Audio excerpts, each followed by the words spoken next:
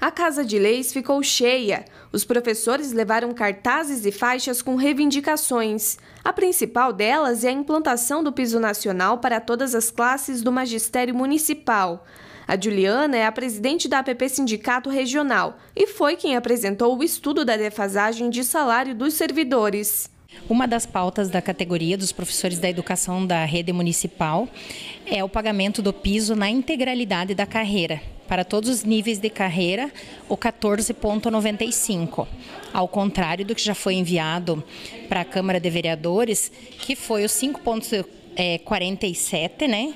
É, para quem está acima do piso, e o 14,95 até chegar no piso.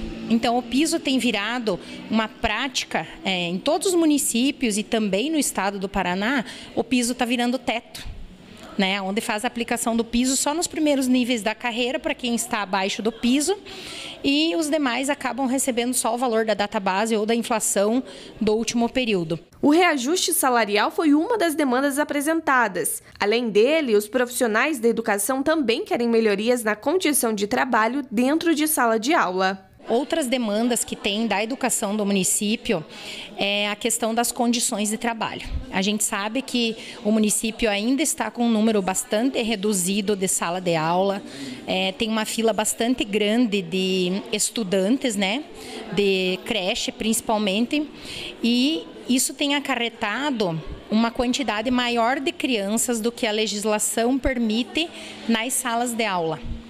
Então, isso precariza tanto a condição do aprendizado do aluno quanto a condição do trabalho do professor.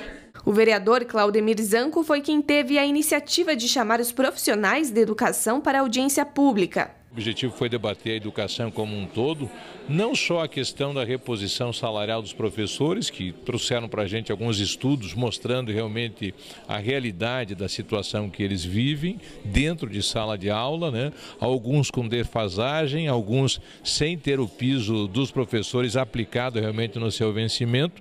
E saímos daqui hoje com vários eh, regramentos, né? Um, um, uma equipe de estudo e trabalho, já de imediato pensando em criar lei municipal do piso, para atualizar o salário base dos professores e eles não receber esse complemento na folha. A secretária de Educação, Jussara Hitzmann, representou o Executivo Municipal na audiência pública.